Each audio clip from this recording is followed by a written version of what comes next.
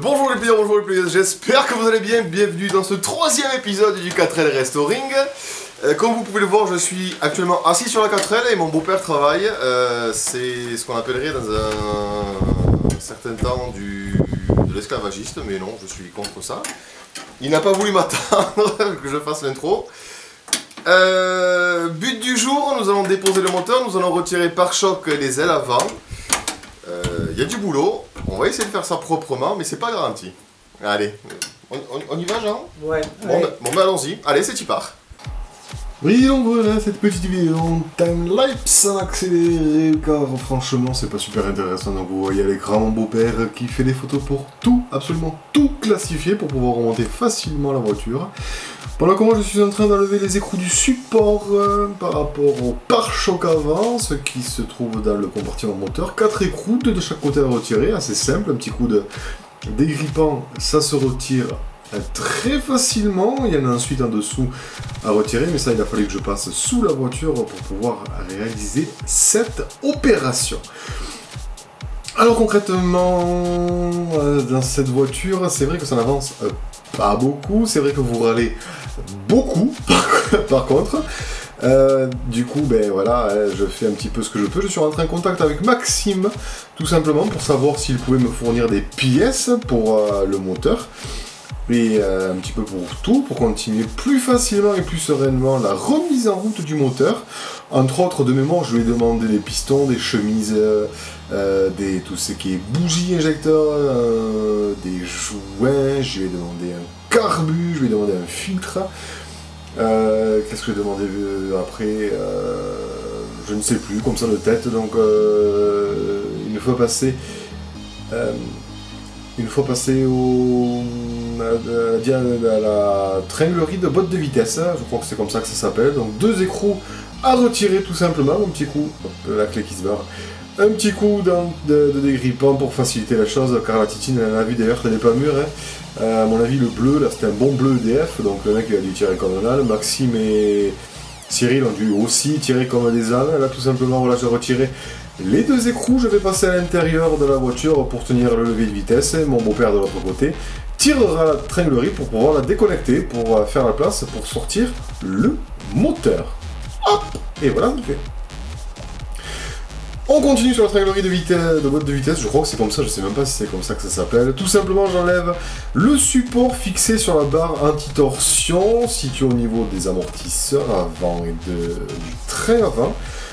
Quatre écrous enlevés, euh, assez rapide, assez simple là aussi. Mais, mais, mais, la rouille a fait euh, des dégâts. Il me semble que je casse un écrou. Bon, bah après c'est facile à... Facile plus ou moins à remplacer. Et vous voyez, c'est facile aussi à retirer. Tout ça. Je fais la même chose euh, sur le kit sympa. euh, pareil, deux écrous à enlever. Et pour euh, décaler euh, ce kit sympa, on va demander Mais qu'est-ce que c'est un kit sympa Alors, un kit sympa, tout simplement, c'est ce qui permet à la voiture de passer de 2 à 4 roues motrices à n'importe quel moment. C'est très rare sur les 4L et ça va être très difficile, ça aussi, à réparer.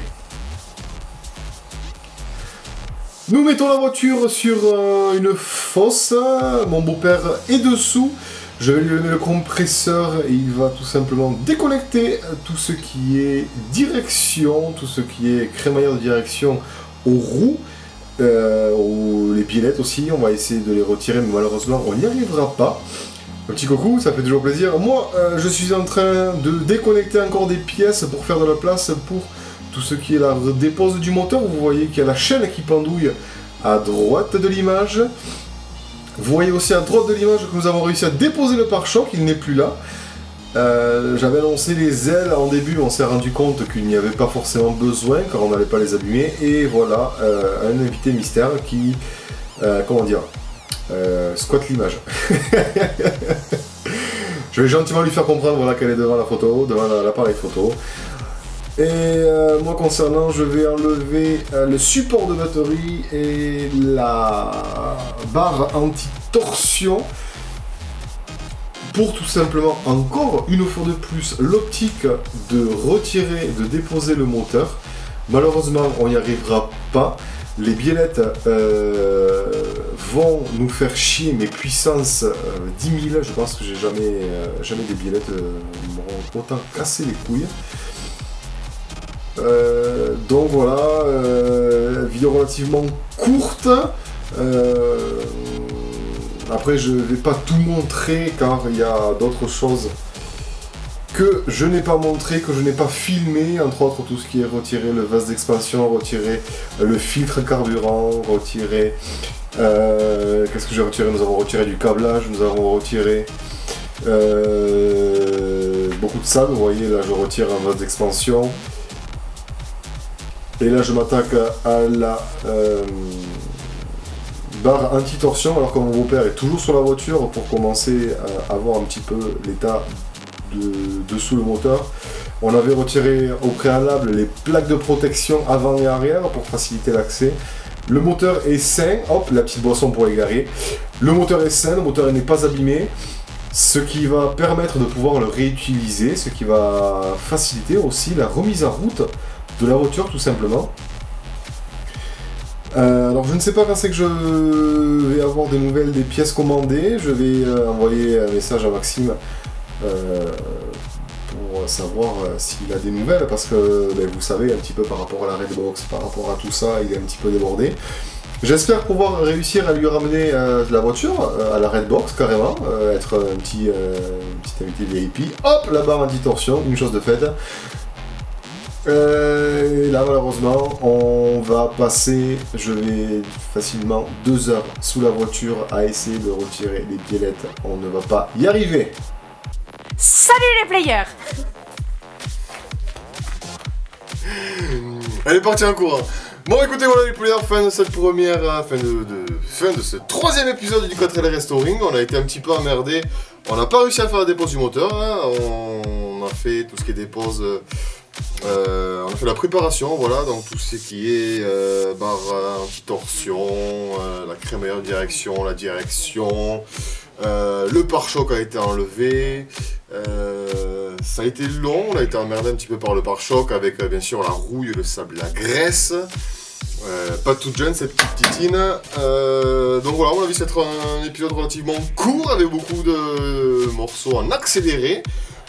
Je reviens ici, je pense, dans 15 jours, tourner du coup le quatrième épisode du 4L Restoring en espérant cette fois-ci réussir à enlever ce moteur pour pouvoir commencer à y travailler dessus le troisième épisode. Dans cet épisode a pris un petit peu de temps, mais entre temps, c'est beaucoup de, mots, beaucoup de fois de temps dans la même phrase. Bon. Entre temps, j'ai eu le boulot, j'ai eu pas beaucoup de repos, donc c'était difficile. Là, ça y est, j'arrive à enchaîner trois jours, deux jours de repos.